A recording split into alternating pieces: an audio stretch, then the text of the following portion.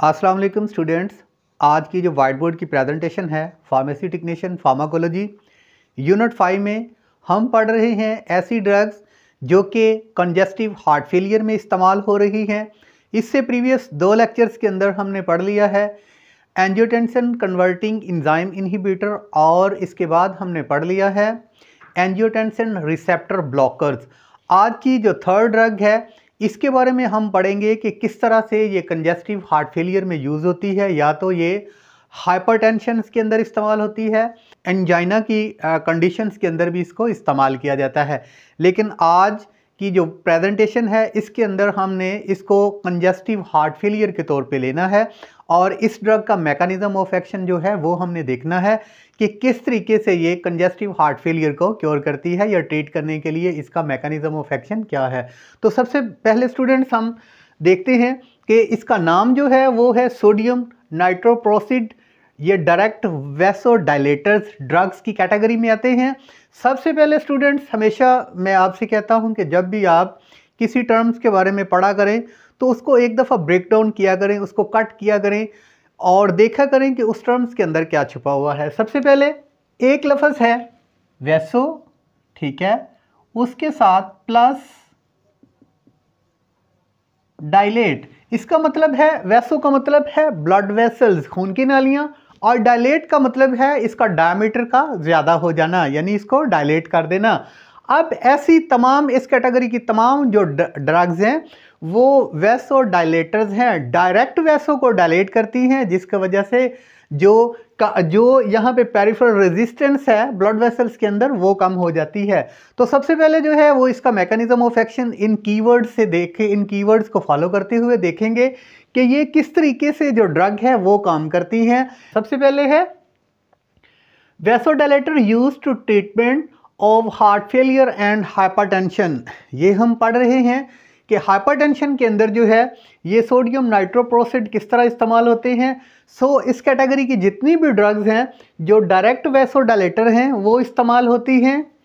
या तो heart failure के अंदर या हाइपरटेंशन के अंदर। हाइपरटेंशन हाइपोटेंशन ब्लड प्रेशर का कम हो जाना और हाइपरटेंशन ब्लड प्रेशर का ज़्यादा हो जाना।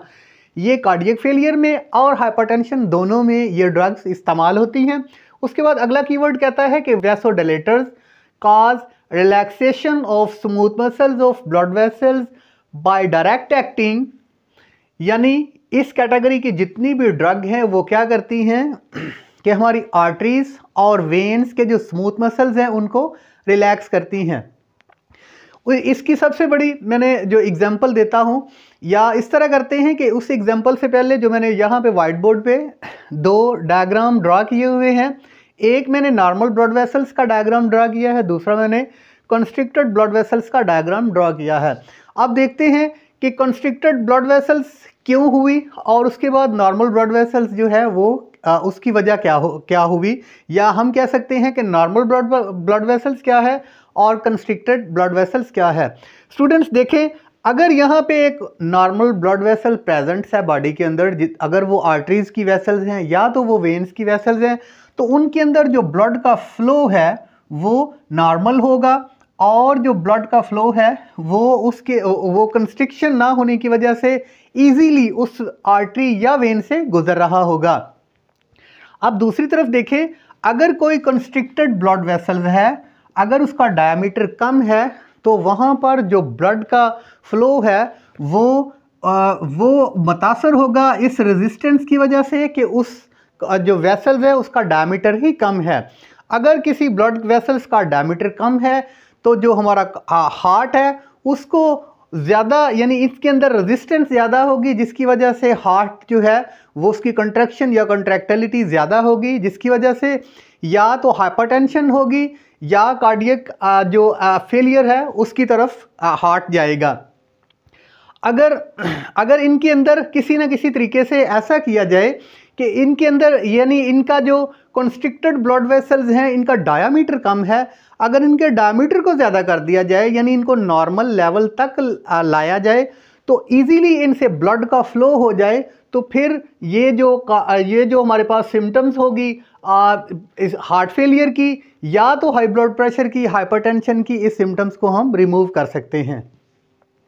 तो स्टूडेंट्स अगर हम ये सोडियम नाइट्रोप्रोसर ड्रग्स का इस्तेमाल करते हैं तो ये क्या करती हैं कि ये इस कंस्ट्रिक्टेड जो ब्लड वेसल्स है, इसके जो, इसका जो डायमीटर है उसको नॉर्मल की तरफ़ लेकर आती हैं। ये नॉर्मल ब्लड वेसल्स हैं और नॉर्मल ब्लड ब्लड वेसल होगी तो उसमें से जो ब्लड का फ्लो है, वो इजीली होगा, जिसकी वजह से हाइपरटेंशन जो काज हो रही थी, वो कम होगी और जो हार्ट की कंट्रैक्टैलिटी थी, उसके अंदर जो है वो कमी होगी, जिसकी वजह से हार्ट फेलियर की तरफ़ नहीं जाएगा, उसके, वो आप एफिशिएंटली अपना वर्क करेगा। तो स्टूडेंट्स अब ये ड्रग क्या करती हैं कि ये ब्लड वेसल्स जो हैं उनको डायरेक्टली तौर पे क्या करती हैं रिलैक्स करती हैं और उनको कंस्ट्रिक्टेड ब्लड वेसल्स को नॉर्मल ब्लड वेसल्स की तरफ़ लेकर जाती हैं, जिसकी वजह से जो है, वो ब्लड का फ्लो इन वेसल से इजीली हो जाता है और हाइपरटेंशन या तो फिर हार्ट फेलियर से जो है वो निजात मिल सकती है।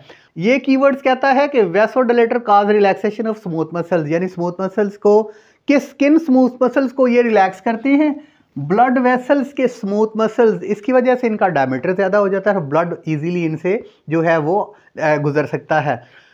अब अगला कीवर्ड कहता है कि sodium nitroprusside is the mixed vasodilator यानी ये मिक्स्ड वेसोडाइलेटर इसलिए है कि ये एक तो आर्टरीज के, जो आर्टरीज ब्लड वेसल्स हैं, उनका डायमीटर ज़्यादा करता है और दूसरे नंबर पे वेन्स जो ब्लड को दिल की तरफ़ लेकर जा रही होती हैं डिऑक्सीजनेटेड ब्लड को उनका डायमीटर या उनको भी रिलैक्स करता है। अब स्टूडेंट्स नेक्स्ट है pharmacological action sodium Nitroprusside is an emergency drug acting act directly to relax smooth muscles of arteries and veins आप स्टूडेंट्स ये जो सोडियम नाइट्रोप्रोसिड ड्रग है, ये एमरजेंसी के अंदर इस्तेमाल होती है। उसकी वजह ये है कि इसका रैपिड एक्शन है। रैपिड एक्शन कहाँ पे है?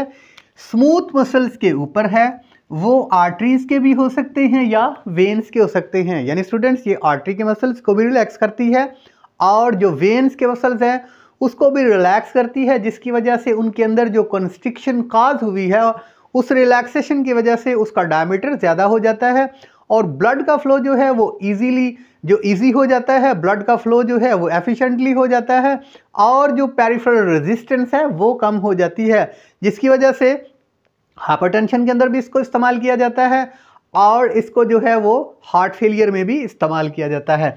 उसके बाद स्टूडेंट्स फार्माकोनाइटिक्स की बात करें तो इसका रैपिड एक्शन है इंट्रावीनस अगर हम इसको इस्तेमाल करें तो विद इन अ मिनट जो है, ये अपने टारगेट तक पहुँचती है और अपना जो है वो एक्शन शो करती है। उसके बाद स्टूडेंट थ्रोपेटिक यूजेस की बात की जाए तो ये हार्ट फेलियर के अंदर इस्तेमाल होने वाली ड्रग हैं इस कैटेगरी की।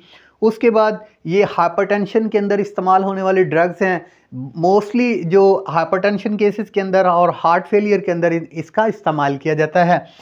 हाइपरटेंशन के बारे में मैं आपको बता चुका हूँ कि ब्लड प्रेशर का नॉर्मल से ज़्यादा हो जाना और इसी वजह से जो हार्ट फेलियर काज हो रही थी, उसके लिए भी इसको यूज़ किया जाता है। आप स्टूडेंट्स एडवर्स इफ़ेक्ट की बात करें कि ये जितने भी वैसोडलेटर ड्रग्स हैं डायरेक्ट वैसोडलेटर इस कैटेगरी के ड्रग्स हैं, उनका एडवर्स इफ़ेक्ट क्या है? एक तो ये हेडिक कॉज करती हैं यानी इनकी वजह से इनके अगर एडवर्स इफ़ेक्ट देखने को मिलते हैं तो सर में दर्द होता है नोज़िया यानी बिफोर वॉमिटिंग जो सिम्टम्स अपीयर होती हैं वो जिसको हम मतली कह सकते हैं वॉमिटिंग और ये वॉमिटिंग कॉज करती हैं। सो so, स्टूडेंट्स आज का लेक्चर जो है वो डायरेक्ट वैसोडालेटर था। उम्मीद है कि आपको समझ आ चुकी होगी। अगर आप चैनल पे नए हैं तो आप चैनल को सब्सक्राइब कर लें अगर आपको वीडियो अच्छी लगी हो तो इसको लाइक कर दें। बहुत शुक्रिया। अगली जो हमारी ड्रग होगी, उसके साथ दोबारा मुलाकात होगी। अस्सलाम वालेकुम